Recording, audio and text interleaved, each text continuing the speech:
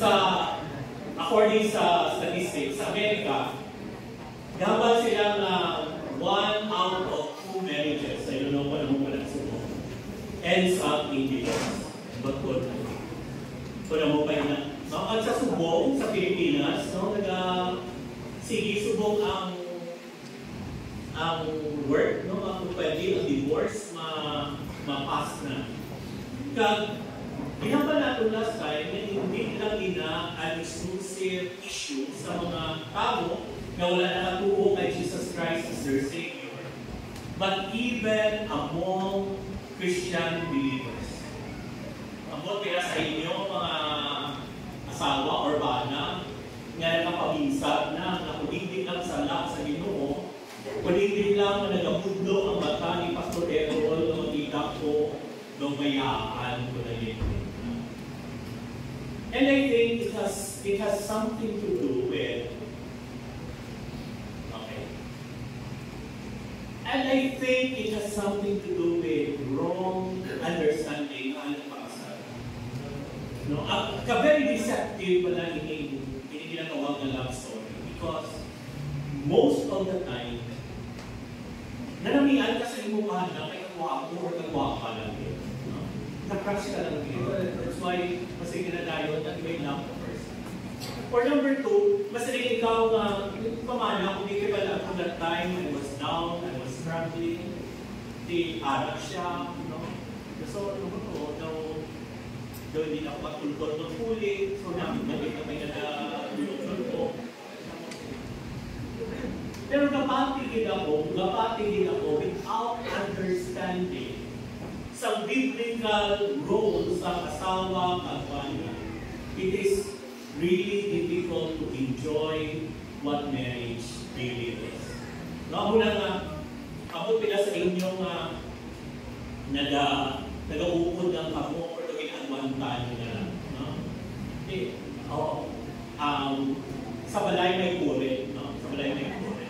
Dira ka ay okay na?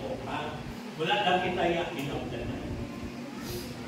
And, and that is why, no, panamay si Apostle Paul, dugay-dugay niya dito, i-remind niya kita, okay, sa mga asawa, no, I, don't know kung buot ka mo this week. If you remember ang aton na naging hambal, na you must submit your husband, that ang husband should love their wives. No? So, so time na isuko sa mga husband, so let's go and start reading again Ephesians chapter 5, verses 22 to 33. Let's read this together. Go. Wives, submit to your husbands as to the Lord, for the husband is the head of the wife, even as Christ is the head of the church. His body is Savior. Now, as the church submits to Christ, so also wives should submit in everything to their husbands. Husbands, love your wives as Christ loved the church and gave himself up for her, that he might sanctify her, having cleansed her by the washing of water with the word, so that he might present the church to himself in splendor, without spot or wrinkle or any such thing, that she might be holy and without blemish. In the same way, husbands should love their wives as their own bodies. He who loves his wife loves himself. For no one ever hated his own flesh, but nourishes and cherishes it, just as Christ does the church, because we are members of his body. Therefore, a man shall leave his father and mother, and hold fast to his wife, and the two shall become one flesh. This mystery is profound, and I am saying that it refers to Christ and the church. However, let each one of you love his wife as himself, and let the wife see that she respects her husband. Let us pray, Father. We beg you that you will work in our lives, and we're praying for you, dear Holy Spirit, kay ikaw lang din ang makapa-understand sa among sinipong scripture. So Lord, cover your servant uh, by your grace. Nagkabay pa, wala na sa iban na madayaw sa among mga kundi ikaw lang din. So Lord, speak to us today. This we ask in Jesus' name. Amen. Now, sa mga bisita namon, no, welcome kag uh, naga-series kita sa Book of Ephesians. And ang first three chapters of Book of Ephesians, if you remember, talks about what the Lord Jesus Christ did to us. And kung understand nato ina, grabe ang ginoo because He has been faithful to us from the foundation of the world towards eternity future. No? So from eternity to eternity, God loves us. Hindi pala ka namin isip Nga before yan ikubra ang mga siyagatang si iba, ara ka na sa iyo. He, he, he picked you for himself before the foundation world. And that is why, through the Apostle Paul, after sina, ano naman ang ubra-unta? He said, Therefore, as prisoner for the Lord, I urge you to walk in a manner worthy of the calling to which you have been called. Of course, hindi na ito mabayaran ng Ginoo, but we'll be telling each other na, yeah, hindi na ito mabayaran ng Ginoo, but He expects us to reciprocate what He did to us. So, kung ang Ginoo gave His life for you, Nag-expect pa ng ginoo nga ihatag ka man ang akong kabuhi sa iya. Kung ang ginoo, nag-bless aton every day, ga-expect man siya na kita mag-live a life of blessing to others.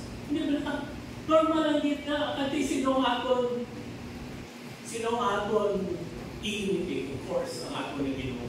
No, sali-sali nga sa eh, Ephesians chapter 5 verse 1, Therefore, be imitators of God as beloved children.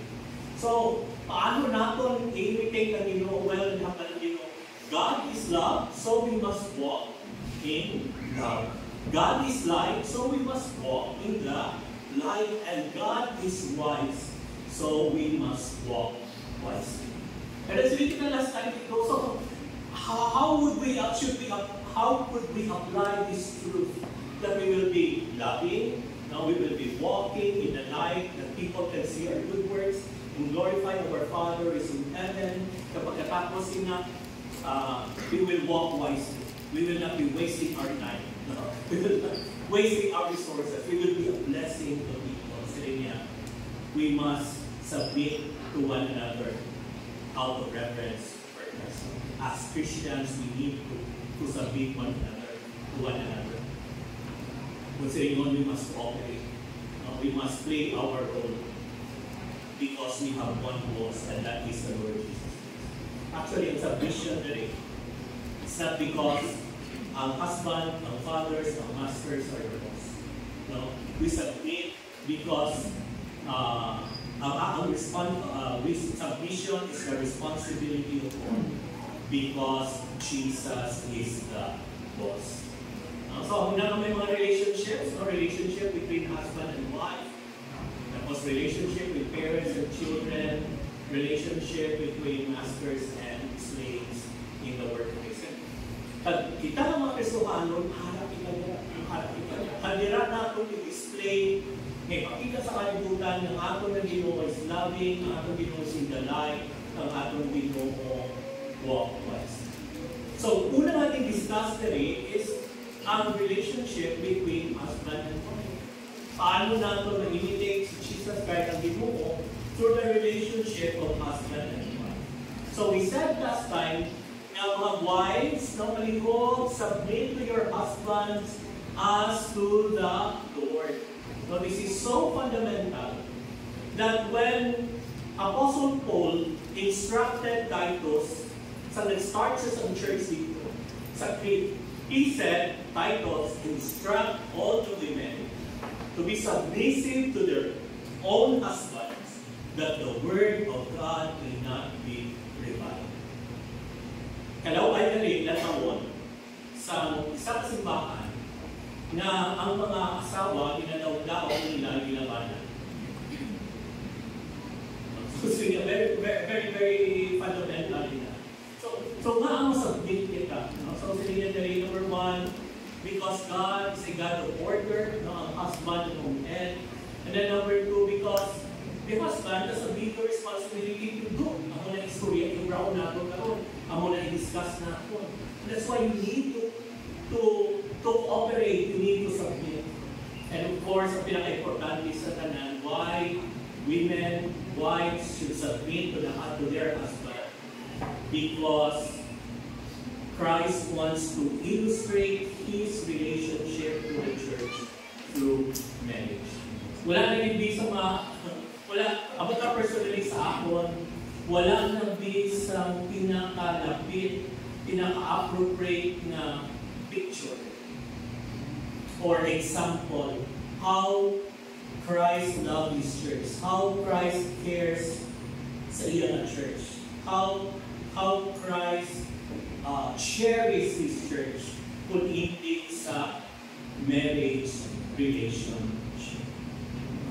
So, so amoy na, no? amoy ni ang, ang very, very important na truth na we should place in our in our minds. No, kag amo na ang last time nato ang encourage ko kamo mga asawa. I think you can start by just appreciating your husband. Amot sa inyo na progress assignment yung siling adlaw, yung sa pagbaling yung bata. Yung salamat kit, yung pinanamihan ko sa inyo. Oo, hindi ka na din nas gwapo sa mo, kaya naglapad ng plaza sa aglang mo. Tapos, ikaw mo galang din na. Sa ikaw mga upod. Nang may ang sa husband ko, kaya nagamunin, nagamunin na. Kami bilang mga husbands, babaw lang din ang amon kaligayahan. Hindi mo lang read the well, no? Ang babaw lang Hindi nyo pa na paghihakal sa amon.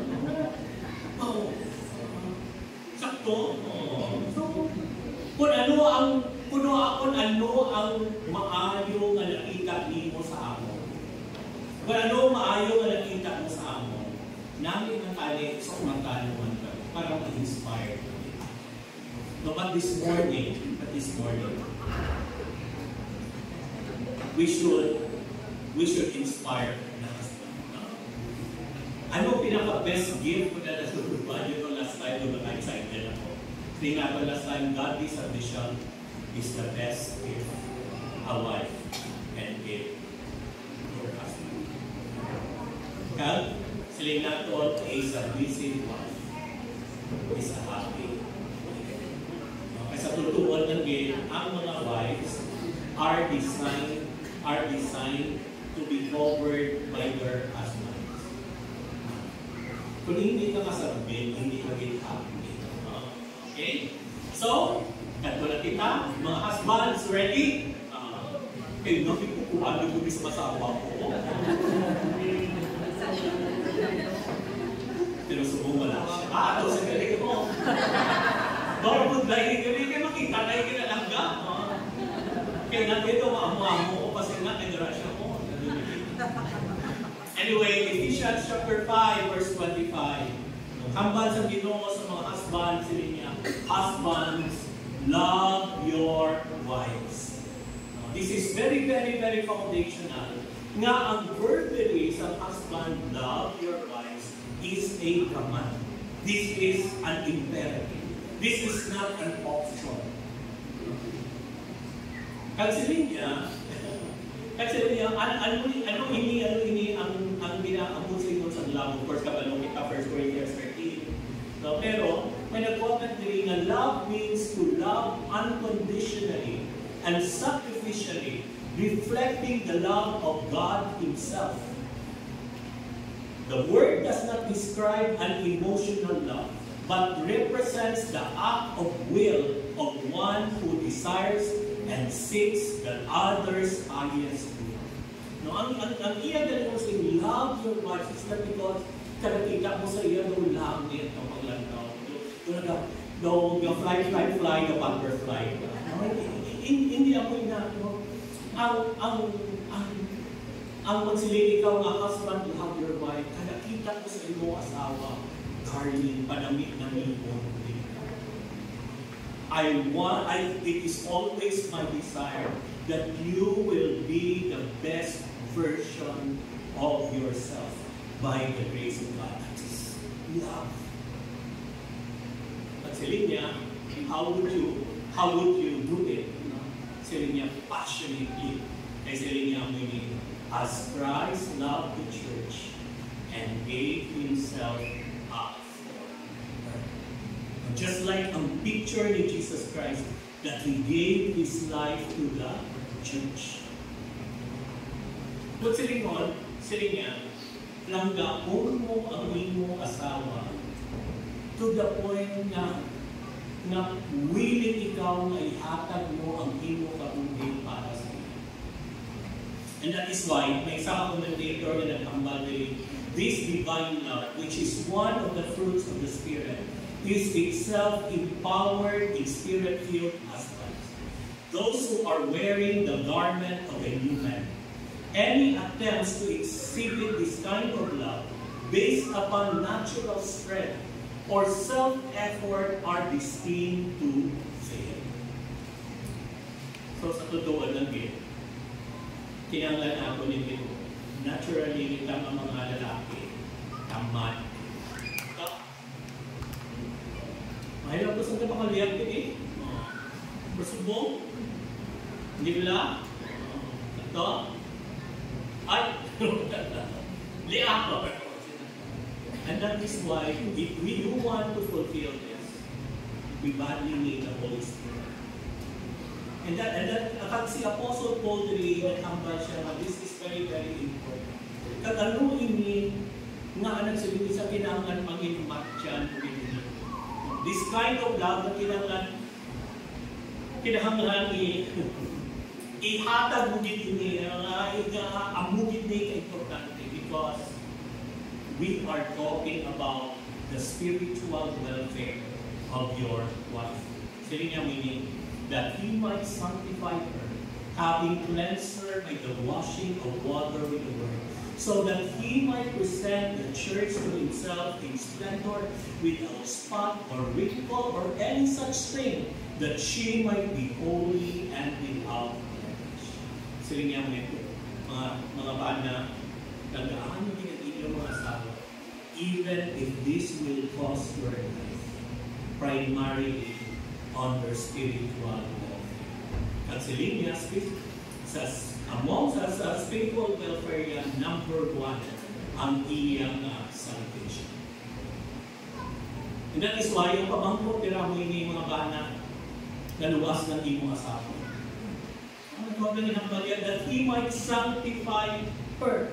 Ang word na sanctification dali or set apart, hindi siya actually uh, ano ni progressive sanctification but positional sanctification. This is once in a lifetime. After you nag-believe ka kay Jesus Christ, you separate ka sa Ginoo to Himself. Nagsiling niya ang ini, bali mga bana, nagkakagawin mong asawa and see to Him na na-set apart siya para sa Ginoo. At sila niya, having cleansed by the washing of water with the word. Means to cause something to become clean. In a spiritual sense, it means to purify from pollution and guilt of sin. Romans chapter 10, nasa inyong familiar? For everyone who calls on the name of the Lord will be saved. How then will they call on Him in whom they have not believed? And how are they to believe in Him of whom they have never heard? And how are they to hear without someone preaching? And how are they to preach unless they are sent? As it is written, how beautiful are the feet of those who preach the good news. But they have not all obeyed the gospel. For Isaiah says, Lord, who has believed what he has heard from us? So faith comes from hearing, and hearing through the word of Christ. And that is why bumili ikaw ng mga mga tatay, uh, ikaw nga bana, ikaw nga bana, next week na ako ba na tatay. Ikaw nga mga bana, we should always teach the gospel, preach the gospel, share the gospel to our wife. Our respective wife. Kaya we must make sure, we must always check that they are of that faith. Number two. Spiritual maturity. No? So, nga, so, hindi lang salvation, but ang purpose pa din niya, ang kagaon mo kinang mo asawa, so that sila niya, she might present the church to himself in splendor. A present kuno literally means to place or set beside or near and hence to place at someone's disposal.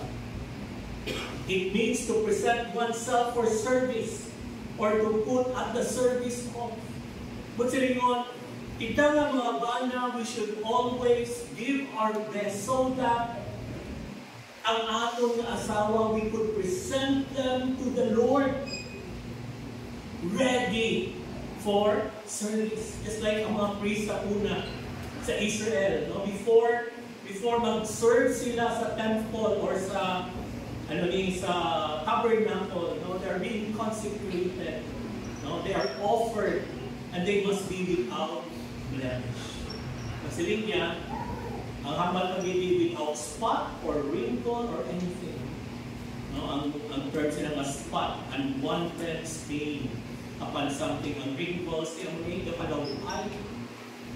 So, dapat ang imong asawa na minamigit siya ready for service, that she might be holy without blemish. Si Barclay, naghambal siya, sabi niya, thinks of the whole man as our offering to God. It thinks of taking every part of our life, work, pleasure, sport, home life, personal relationship, making them all such that they can be offered to. Iniblang ko ni Ginambala sa Romans chapter 12 verse 1 and 2, singing, I appeal to you, therefore, brothers, by the mercies of God, to present your bodies as living sacrifice, holy and acceptable to God, which is your spiritual worship. Do not be conformed to this world, but be transformed by the renewal of your mind, that by testing you may discern what is the will of God, what is good acceptable and perfect. Pamuni ka rin word out na ako uh, to Aragon na uh, to Mark, to ba out na ako uh, na si Nibel, uh, ah, si na si Darlene, ready for every good works. Okay man to, Kondisyon. Because amuin niya ang atong nga handog ng aton mga asawa. Mga asawa sa pag-alagdan sa Ginoo, ready. Ready. But of course, sa salita ka, bigla niya, buligan ka sa Ginoo. Kay promise niya na Philippians 1.6, I am sure of this, that He who began a good work in you will bring it to completion at the day of Jesus. Ang question ng Bidaraya ang winning Are you willing? Are you willing to, to work hard even if it will drain you so that ang imo asawa mangin namin namin kapisuhanon sa tubangan sa Ginoo. Spiritual welfare. But number two, hindi lang ang spiritual welfare, but of course, ang physical welfare. So yun, in the same way, husbands should love their wives. No? Ang love na compared sa love kay nato, hindi ka man. No? Naamoy na, maybe, maybe because gina-imply lang siguro diri sa Apostle Paul na this is secondary. This is not this is not as important. Hindi natural. Ang pinaka-importante din, ang kaluwasan sa imo asawa. No? For what will it profit a man if he gains the whole world, but he will lose own soul? Personally niya, okay, in the same way, uh, of course, spiritual, given na uh, hindi man that you should also love your wife as their own bodies. No? He who loves his wife loves himself. So, kung sino, kung, kung lalaki ka, kung bana ka, ina-take care mo yourself. Sakto? Ina-take care mo kung naging pabayaan mo sa kusina, no? Pero actually doon sila, ginaubra mo ang mga butang ng mga panlipay sa iyo. Sila nga kani. Kung amo, amo na imong mindset towards yourself, kani amo man ang mindset mo towards your wife. Hindi na yung ikaw yan ipayon, wala pang galikon mo. Samtang ang imong asawa, nagatantrums na sa buta sa iyo. You, you should, you should love your wife. You should love your wife as as part of your body. For no one ever hated his own flesh. Ang forniculo is a strategic term of explanation which we do well to pause and ponder. Sino tawagin na hate mo yung masarap? Yan, hate mo yung magpalpa ka. Pero usually, kita ng mga lalaki, uh, babaw man ang kaligayahan nato, kung gusto na ako niya maging maligaya. Uh, Kamu na, na, natani, kung mga asawa ka o mga amiga ka, not because para lang sa imong kalipanan. So, and buwan na sa ulihin, kung hindi ka nalipay, biyaan mo. No? Or gusto ka. So, sabi niya, you really need you really need to love your wife as your body. So, so ano, ano yung physical welfare? Number one, ano yung health? Physical health, no? Or, Kaya no one ever hated his own flesh, but nourishes. Ang health man hindi man ang ituro sa ng ano na galing na health, health, kundi overall health. Nourish, nourishes means to nourish up to maturity to nurture, to bring up from childhood, to raise a child to maturity by providing not just for physical but also for emotional or soul needs. It means to provide food for uh, with the implication of a considerable period of time and the food being adequate nourishment. So this word could mean that the man is to be the breadwinner or. So, kung kaysa galing, abi naton, kita mo lalaki, ah, basta, naka, nakasweldo ko, isubmit ko kay misis, okay na. Uh, quote, ano ko, ma makapangalipay na ako, malandaw na ako, hindi, misis na lang bahala. So, nauna, ang spiritual welfare, but sa niya, overall, overall health. So, provider mo, i-take care mo, i-take care mo ito yung asawa mo, kamusta na, na-check mo kung okay man ang baby sa iyong asawa. Ha? Uh, kamusta siya? Uh, hindi na pamangkot yung na, kung nakainom na siya vitamins. Uh, pero kita rin yung mga bana, ano na? Kung hindi lang, hindi lang yung galing niya, kila na siya, buwi, kamusta thesis ko? Ako naman na. Check-check mo ganyan check step po mo. Di, amot pila sa ako, diri may asawa ka nga doktor,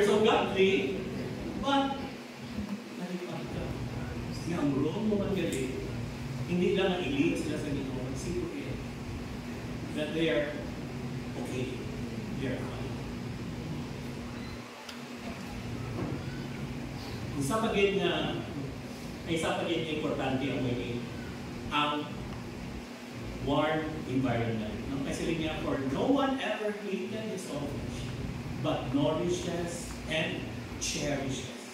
Ano cherishes mean? Originally mean meant to warm, to brew, to keep warm as we body in. Ang idea is to cherish with a tender love. So hindi naman sabihin ka lang na, ah, natagahan na to sa kwarta. Natukanan ko na to sila na, ah, okay na to. Ah, may salakyan, may panay, ano. Si Mrs. gusto niya magpa, ano na, magpa-facial mo, takbo no, tanan. Tanan sa napadapa, okay na to, na take care na to. Ah, mo na lang nga ba, isang lawas, yan wala na to, sa ito. Okay na to. Oh. Kasi bigyan pa siya pag Do you have a warm relationship? Yan, nagkapares na pala na ipa, Ako na pakanyada kayo sa ito. Anong sumpan? aku, ako, kung ang magka, kan ano ang ino mo, ano ko, kung special, special, ino ko. Tingnan sa akong iluto, sa mana, ang ginainit-init lang, no? Eh, yung mo. Nami ang magpakaon ko sa asawa mo. God, to? Sa mga init man, mga man sa... Atau Kaysa magkikain mo sa asawa mo. Nagawa mo lang ano, nabiyabay ka sa luto, no? Ha? Ang ginisuyahan lang, pero ay, may balayran ko dali. May balayran ko sa kwan, may balayran ko. Amo lagi na, mayo lang yun, kaya may balayran. Amo, wala ka ang balayran. Wala na ikaw yung suyahan.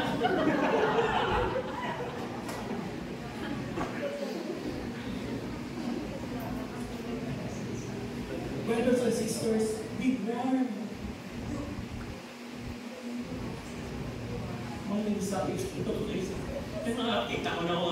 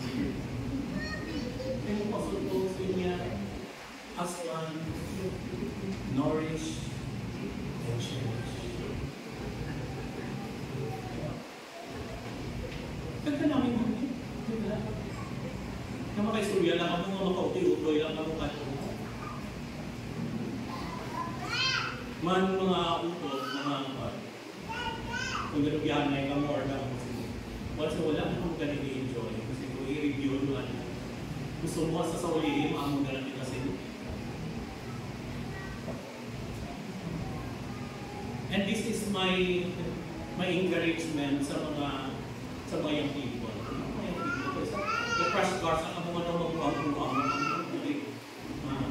hindi na amo ha? Uy, maluway ka mo sa kabuligon nyo, ha?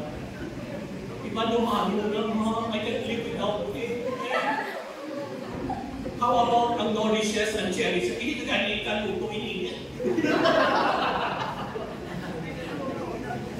Manourishes and cherishes.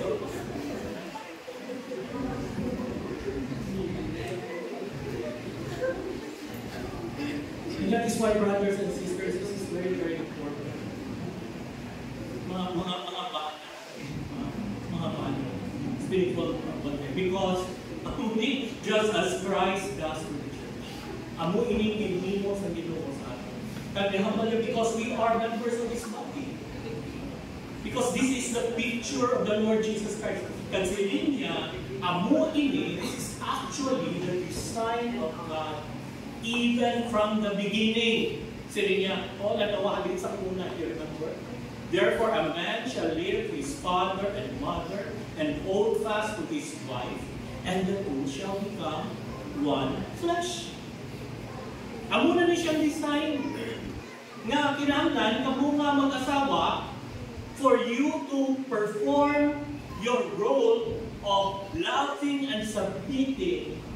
Siya, kinahanglan, you should have, you should live your life. Now, kaya warning siniya ninyo, if you will distort the design, the instruction of the Lord, ikaw asawa, you will not submit, ikaw ang bana, hindi ka mag-play sa imong role, you will never experience what married life really is. Ang experience mo lang yung marriage contract.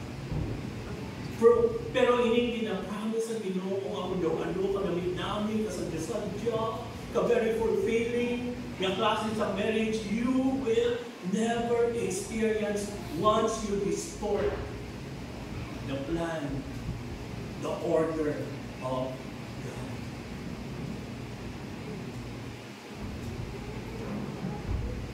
Ano na siguro reminder lang sa mga couples. You know, wala mo kasiling na, na mag-slave kita, nga sa lak mag-live ikaw sa balay sa iyong mga parents. Because ginasubo man kita sa Ginoo to take care of our parents. Pero sa literacy, sa atong natunan na mo if ang imo pag-fulfill sa imo marriage duty, nagkakaapektuhan, nagkakaapektuhan tungkol sa other members of the house, I think it's time for you to leave. Imagine mo, imagine mo kung, kung ang bala mo, sila na good time, pero gusto niya mo kung kaya matiging man. Pag ikaw yan ang nililiwang ka na. Ika guys na makasave ka mo, pero ikaw yan nakastress. Kapag darling, bisan sabing na lang basta labi.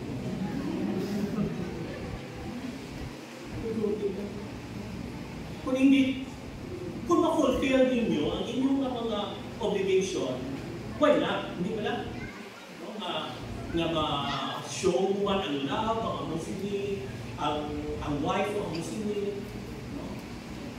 Paano ka, paano ka bi, maka-minister asawa, kung aga pa, iyang nanay or tatay ang sermon ang damaw sa iya. Wala ka tayo You see? And, and that is why you need, you really need, you really need, really need, you really need to integrate You really need to, to check. Pero kung no okay man lang, makapractice mo lang ako muna. Go ahead. Sige nga, nga, this mystery is profound, and I am saying that it refers Christ and the church. Sige ni John Arthur, sige niya, the sacredness of the church is wed to the sacredness of marriage. So by your marriage, you are either a symbol or a denial of Christ and His church. So sa imo, how, the way you handle your marriage, kapakita ina kung, kung either kasilingit ka nga amo man dapat ang ang simbahan ni Ginoong Yesu Cristo in relationship to the. Hindi na. Wala na kulos.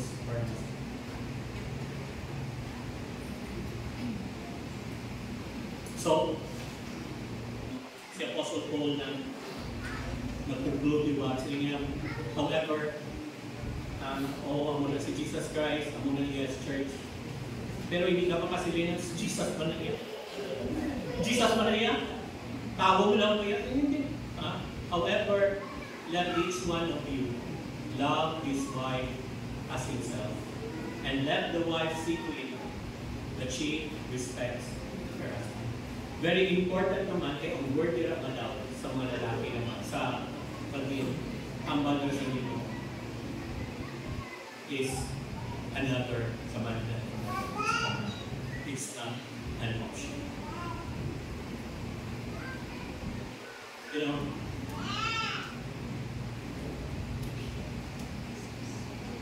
after this, kabalo ko, of you may talk sa ako rin wala.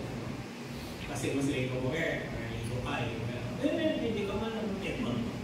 Ang fear ko lamang mo ini, na ko lang pagkulit, pagkulit ninyo, magimanda ka mo, oh, kanagay ka sa mali pastor? Ha? Norris, Cherish, spiritual welfare, uh, uh, ano na, uh, physical welfare, okay, okay, ha? Ha? Uh, uh, ikaw ha? Uh, you know, sige, eh, hindi ka magaling. Sabihin tanay, uh, and you will have your welfare. Okay? You know, lagi, don't demand it sa imong mga husband. Don't demand it sa imong mga Kasi sa totoo lang eh, ang ginoo na mismo ang mga nag-demand sa iyo. Just do your work. Kaya, kaya makasalin ikaw na, for example, uh, pastor, ano kaya ka hindi believer ang husband? Or ang akong husband mo, subong ba o kabuday-buday? Yung bahala na mo no? Kaya kapati na ko, ako, tubra ko mo lang din ang imong rules, isuko sa ginoo. Basta sa akin, amo ni, amo to, amo na.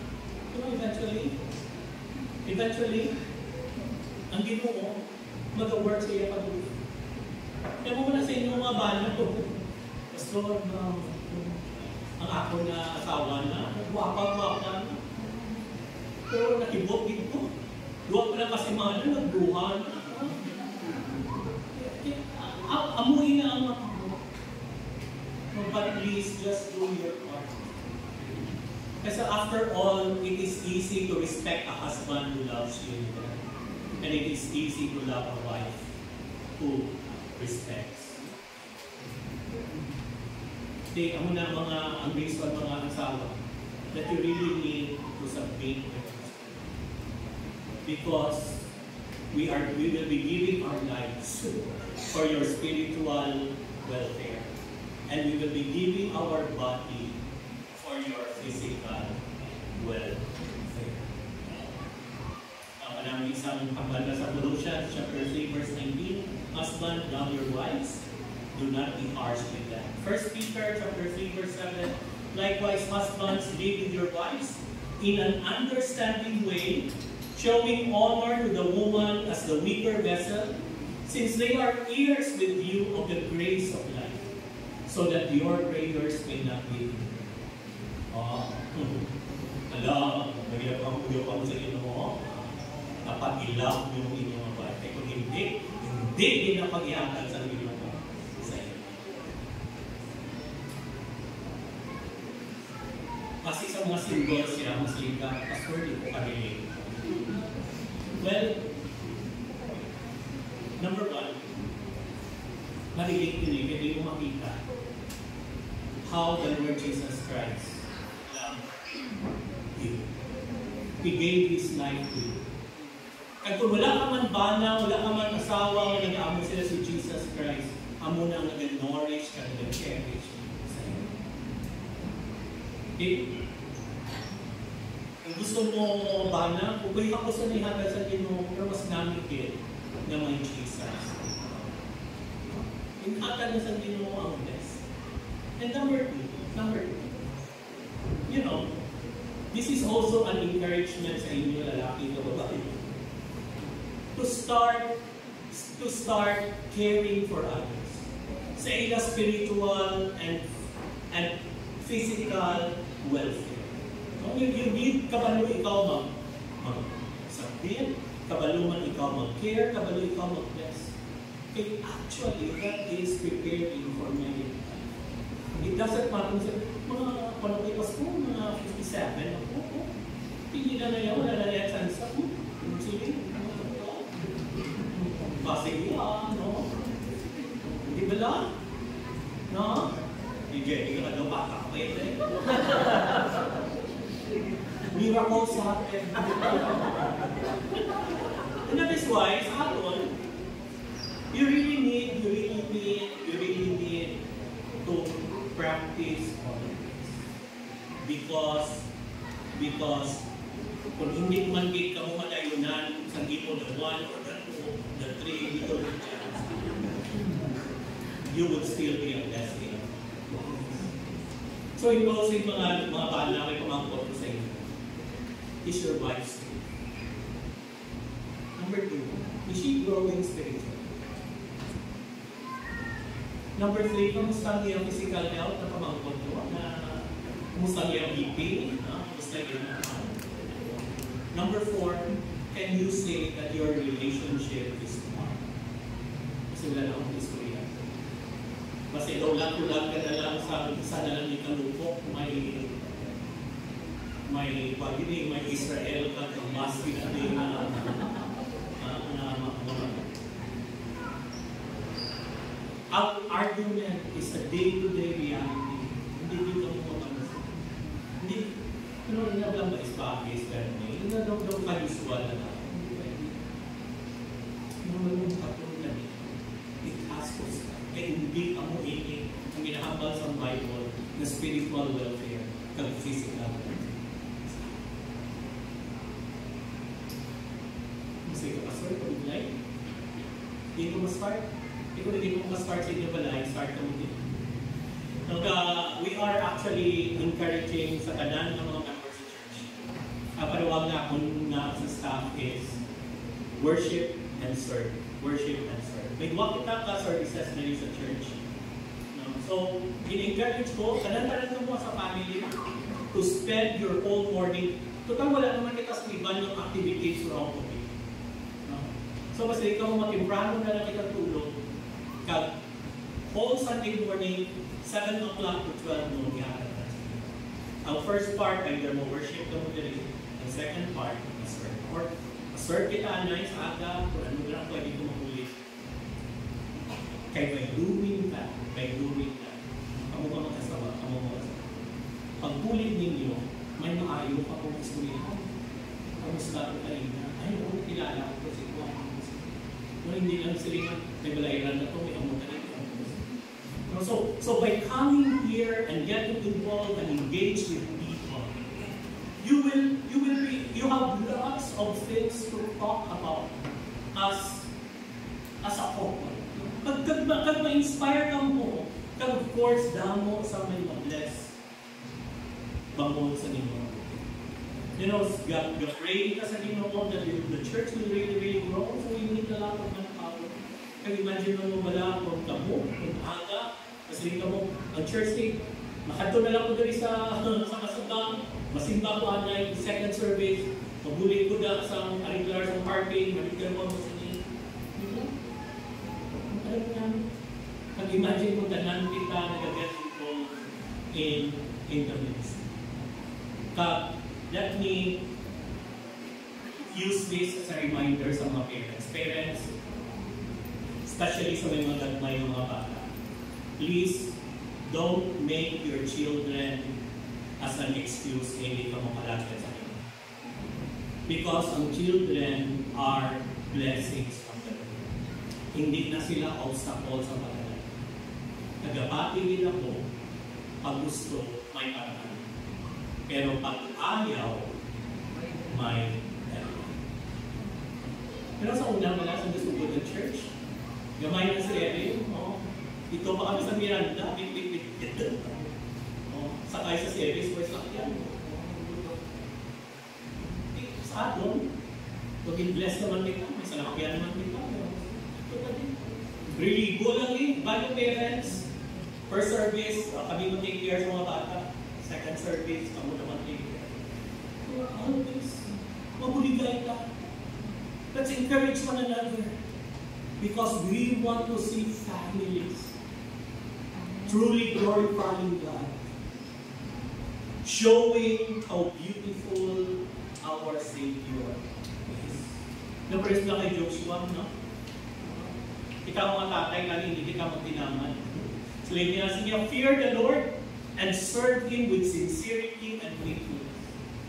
Ang mga dalawang question, are you serving the Lord with sincerity and faithfulness? Kasi ka-check attendance ka lang din. No? Kung mag-serve ka mo, mag-fear ka mo sa Ginoo, ha? mag-serve Him, be sincere, be faithful, tutura. Hindi tayo ka pa-focus ka. No? Say niya, put away the gods. Kung ano man na ang mga handong mo, that amo ang naging obstacle sa paghatag mo sa best mo sa Ginoo, put away. Say niya that your father served beyond the river in Egypt and served the Lord. And if it is evil in your eyes to serve the Lord, choose this day whom you will serve. Kung wala ikaw gana, kung wala gana man ang pagkanto mo sa church, pili ka na lang. Pasimba ka, hindi. Hindi mo pag-alala mo. Ito? Eh kung nagsimba ka man lang, kay, you know, kay nahuya ka lang. Pero hindi ka man sisiro, pagsimba mo, wala kang gano'n magalaga. Hindi na lang. Choose this day whom you will serve. Never kahapon. Ang gods and fathers mo, o mga Diyos, Diyos, ang mga handog sa mga barkada mo, ang handog mo, ang Muslim, sinibawal mo. Ang kwarta, si Taylor Swift, or si Sino, tigil ka na lang tubo. Don't waste your time. Pero sa ni, pero, pero sa ni Joshua, sa niya as for me my house. Pero ako ya, si Doc Miley, si Eric, we will serve God. Dami kamungan ng mga tatay. Sinusuron yung mga naging paglalagay sa This is it. Hindi nyo pa pakita sa inyong mga bata na mayo na kamo pakita, di mayo man hindi. Pili na lang pa. Kaya ang nakikita ninyo bata. Tagaan niyo lousy example ang inyong mga bata. You will develop lousy children sa paglalagay sa inyo. Nagkamukha sa ulitin sa And that is why, as husbands and wife, kayo po na po. And so that, by the grace of God, He will say, As for me and my house, we will serve. You know, tandaan natin ini, mga tatay, a loving husband will die for the spiritual wellness and live for the physical welfare of his wife.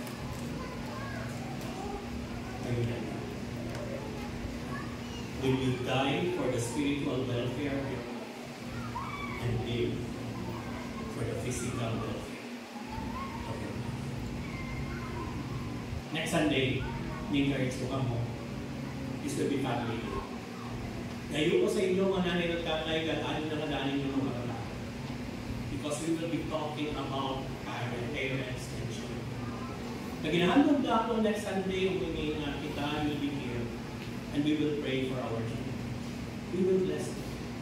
Kung sa mga wala kaya tatay, wala mo sige kita kita sa spiritual father. So that we will be encouraged to say, you know, God is our Father. And as for me and my house, we will serve. Amen.